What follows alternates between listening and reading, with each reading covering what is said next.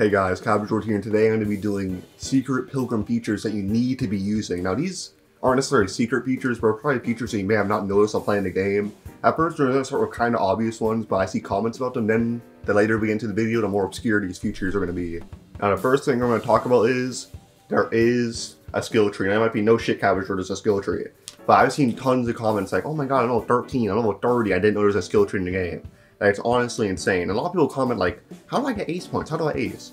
Now, you need eight points to, you need how many points it says to ace. Like, I, I thought it was pretty self-explanatory, but apparently people haven't noticed these features, so I'm gonna call them hidden features.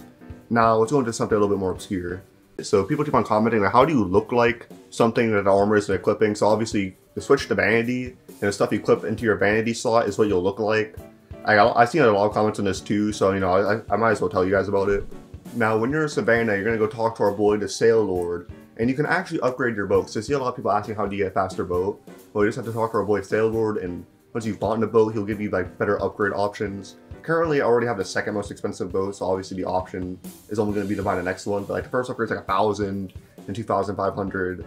So yeah, that's how you upgrade your bow and just get the faster ones. Now, I didn't even know this feature existed until like a few days into playing the game, but you can actually invite people to your party. So if you go to the leaderboard and click on them, you invite them to a party, and then obviously if they accept the invite, you'll be able to see them across the map. If you look where my mouse is, you can see them, how much health they have, where they are. It's a pretty neat little feature. Now every place in the mirror usually has a bed where you can actually set your spawn point at. And when you die, you'll actually spawn back there. A lot of people don't know about this feature. It's a little bit low key. A lot of people don't notice there's actually races in the game. There's two of them. The first one I'm going to show you the location of is the Frost Troll.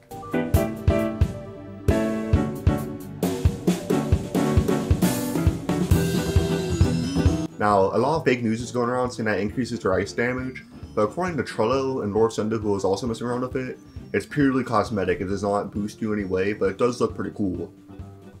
Now, the second race in the game is the Vampire, which I'm showing the location of right now.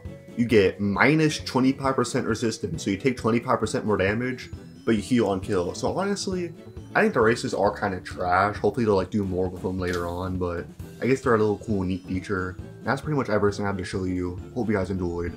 Like, subscribe, and stay tuned for John, John Wick, John Wick build.